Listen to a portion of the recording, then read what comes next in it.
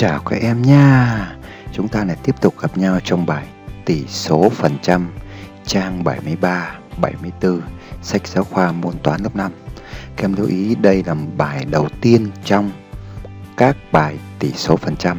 Ở lớp 5 thì chúng ta sẽ có 4 bài liên quan tới tỷ số phần trăm về mặt lý thuyết nhé Và đây là bài số 1 Các em lưu ý để các em theo dõi. Rồi, bây giờ như thường lệ thì các em đã sẵn sàng tâm lý cho việc tiếp nhận bài học chưa? À, nếu các em đã sẵn sàng thì nhớ là có giấy nháp, có cuốn tập hay gọi là cuốn vở để chúng ta ghi nhớ những nội dung cần thiết. Sau này chúng ta không phải đi tìm lại những cái kiến thức này nữa. Được chưa? Rồi, chúng ta sẽ vào phần lý thuyết. Chúng ta tìm hiểu ví dụ A. Diện tích của một cái vườn hoa là 100 mét vuông. cái vườn hoa đây này đó, nó có diện tích là 100 m2. trong đó 25 m2 thì dùng để trồng hoa hồng. Đó. tức là cái vườn hoa này có diện tích là 100 m2 thì mỗi một cạnh của nó sẽ là 10 m, đúng không? Thì diện tích hình vuông sẽ bằng cạnh nhân cạnh 10 nhân 10 sẽ là 100 rồi trong đó thì 25% đó 25 mét vuông.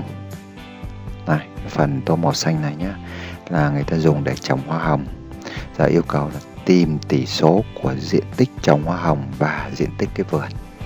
Đó, tức là đề bài ở đây yêu cầu ta tìm cái tỷ số cái màu xanh này, này của phần trồng hoa hồng với toàn bộ cái diện tích của cái vườn hoa này. Được chưa?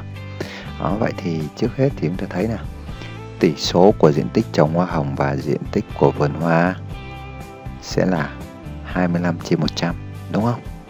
Tức là gì? Cái này nó chiếm 25 mét vuông trong tổng số 1 100 mét vuông thì nó sẽ là 25 chia cho 100.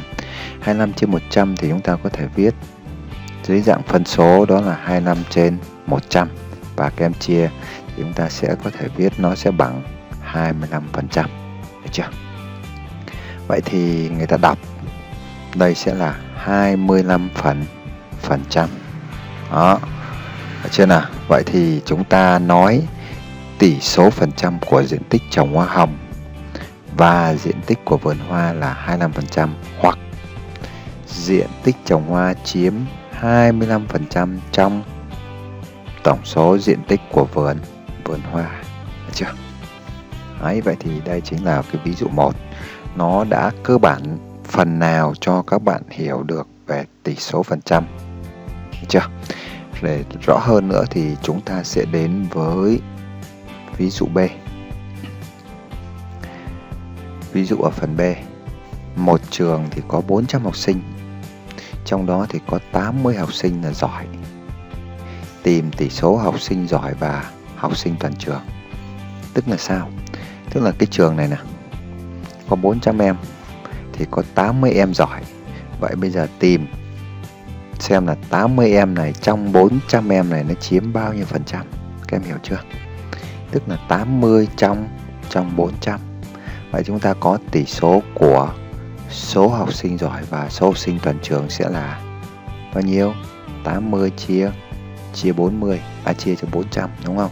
Và chúng ta có thể viết là thành dạng phân số là 80 trên 400 và chúng ta rút gọn cái phần số này, chia cả tử và mẫu cho cho 40 thì phân số này sẽ là phân số được là 20 phần 100 đó và sẽ bằng 20 phần trăm. Được chưa? 20 trên 100 tức là gì? Cái này nó chiếm 20 phần. Trong tổng số 100 thì nó bằng 20 nhá. Có nhiều em này bảo sao lại bằng 20 phần trăm ở đây này, nhiều em lại không hiểu. Rõ chưa? Rồi vậy thì chúng ta có thể thấy tỷ số phần trăm của số học sinh giỏi, tức là 80 em này, trong tổng số 400 em sẽ chiếm là 20 phần trăm. Đó. Vậy thì qua cái này chúng ta có thể thấy được số học sinh giỏi chiếm 20 phần trăm số học sinh của toàn toàn trường. Vậy thì tỷ số này cho biết cứ 100 học sinh của trường thì có 20 học sinh là học sinh giỏi. Đó. Bây giờ qua hai cái ví dụ số 1 và ví dụ số 2 đó thì chúng ta sẽ áp dụng làm cái bài tập. Ta sẽ đến với bài tập số 1 viết theo cái mẫu. Ta bài số 1 là có 4 câu.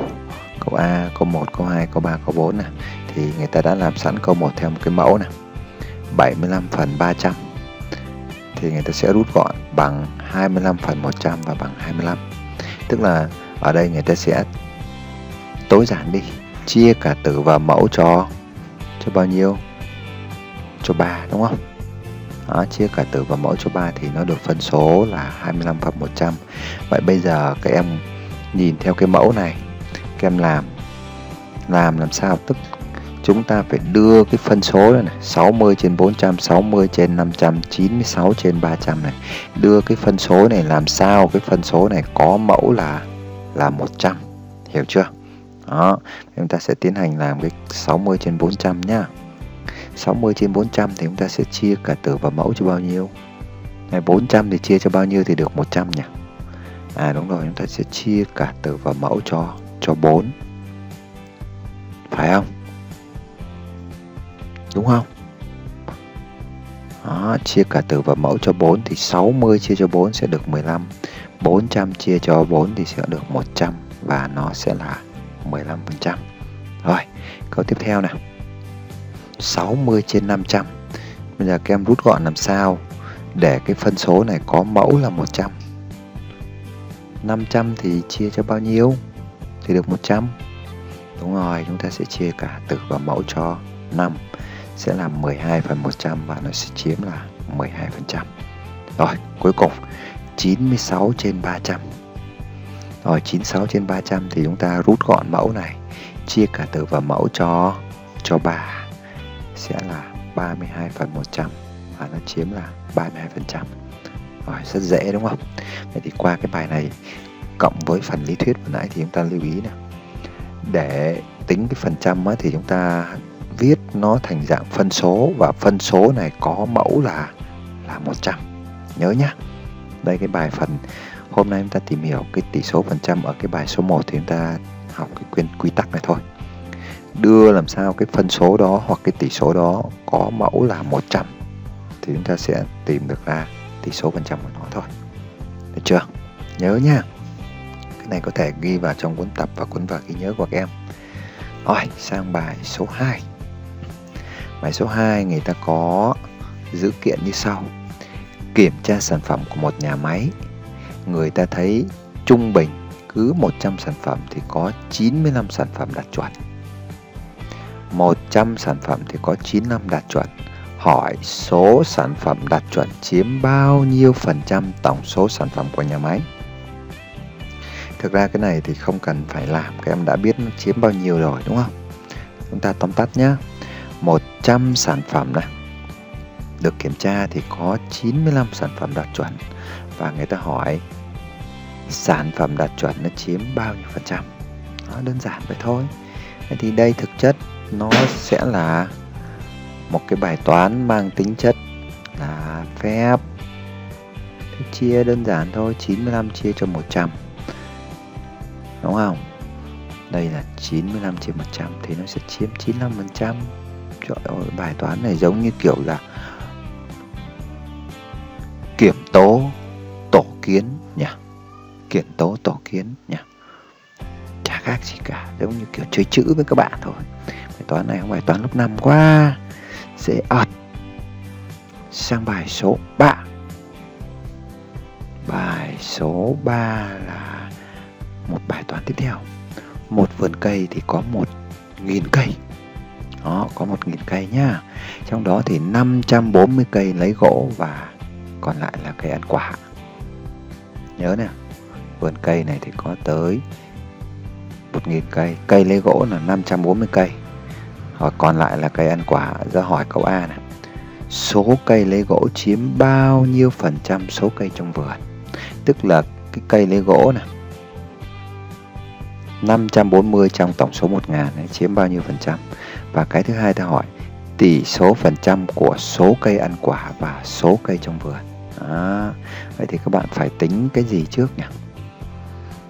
Ta phải tính được cái số cây ăn quả này thì mới tính được tỷ số phần trăm nha. Và chúng ta sẽ giải nào. Trước hết thì chúng ta sẽ giải tỷ số phần trăm của số cây lấy gỗ và số cây trong trong vườn. Sẽ là 540 chia cho bao nhiêu? 1 ngàn thôi. 540 chia 1 ngàn thì các bạn thấy 1 ngàn chia cho bao nhiêu thì nó được 100 được cái phân số 100 đó, thì các bạn sẽ phải rút gọn, đúng không? Và chúng ta sẽ có kết quả đó là 54% ta chia cả tử và mẫu của thằng này cho cho 10 đúng không? 540 chia 10 bằng 54 1000 chia 10 bằng 100 rồi, và nó sẽ bằng 54% rồi, đấy chính là câu A nhá. Câu B. Ta hỏi, tỷ số phần trăm của số cây ăn quả và số cây trong vườn. Thực chất đến đây thì chúng ta có thể làm bằng hai cách. Ta có thể lấy 100 trăm trừ đi số cây lấy gỗ thì nó sẽ ra tỷ số của cây ăn quả. Cũng được. Hoặc cách thứ hai chúng ta sẽ tính này thì số cây số cây ăn quả sẽ bằng 1000 trừ đi 540 nó sẽ ra số cây ăn quả đúng không? Đó, chúng ta có thể tính bằng nhiều cách. Tuy nhiên thì cách ở đây thầy sẽ làm mà cách chúng ta trừ đi cho nhanh thôi và kết quả chúng ta có là tỷ số phần trăm của cây lấy gỗ với cây trồng vườn là 54% và tỷ số phần trăm cây ăn quả với số cây ở trong vườn là 46 Đó, và đây cũng chính là đáp án của bài số 3 và đến đây thì chúng ta đã kết thúc bài đầu tiên trong series tỷ số phần trăm để chúng ta nhớ tỷ số phần trăm có 4 bài nhá. Và các em cố gắng các em xem các cái bài này lần lượt để có thể thầy sẽ gộp cả bốn cái video đó vào một cái video tổng hợp cho các em dễ phân tích. Chưa và như thường lệ thì đến đây, thầy và các em lại phải tiếp tục chia chia tay, tạm biệt thôi. Và các em nhớ chúng ta chia sẻ video thật nhiều thật nhiều nha. Rồi, tạm biệt các em. Bye bye.